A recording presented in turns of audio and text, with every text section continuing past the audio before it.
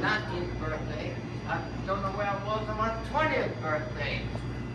But on my 20, toward my 21st day, first birthday, uh, South America was still suffering from the war. They didn't have any, but they didn't have any uh, working vehicles, trucks and, and, and tractors and things like that. And we were told that you could buy a truck at, at uh, Scott Chevrolet in Orange for a little over a thousand dollars, and you could sell it in Santiago, Chile for three thousand. So three of my friends concocted this terrible plan. Next thing I know, we went down uh, Scott Chevrolet and said, Danny Schaefer, how much is it? He said, only $1,200.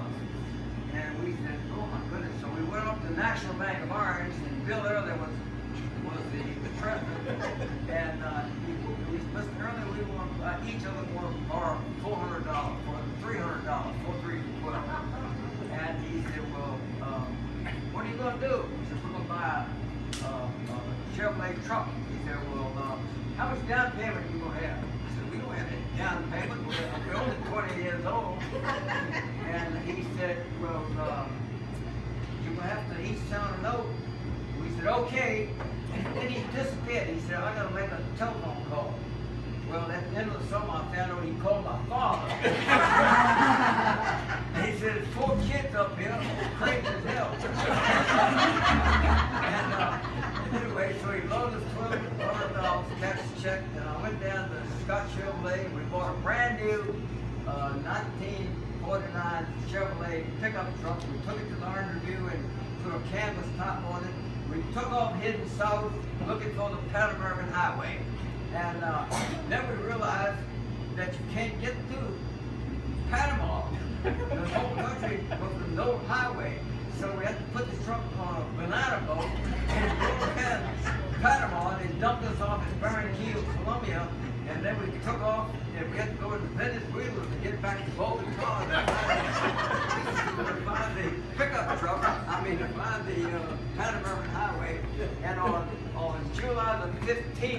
1949, we uh, came roaring into Quito, the capital of Ecuador, and spent the night. Two of us slept in the back, two in the front seat, one under the we one, we alternated, one under the car.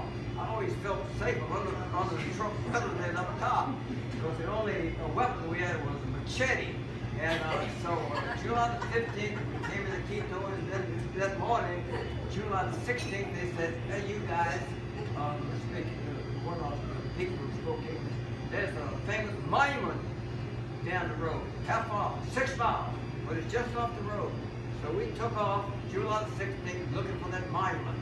And sure enough, it was. It was about uh, 30, 20 or 30 feet tall, and right on top was a marble ball, a great big marble ball. And around the ball was a stainless steel band. We went around it, and we said, that's unusual. And we went down, and on the bottom it said latitude 0, 0.0. We were standing on the equator. Just to prove it, there's the monument, there's the,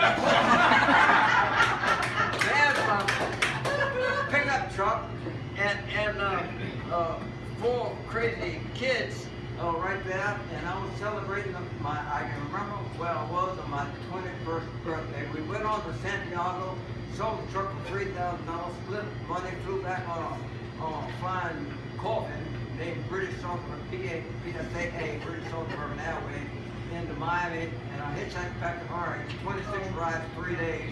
But I got here, and we had a wonderful time, and uh, we uh, it took us two months to get there, two days to get back, and we made a grand total of $32 each.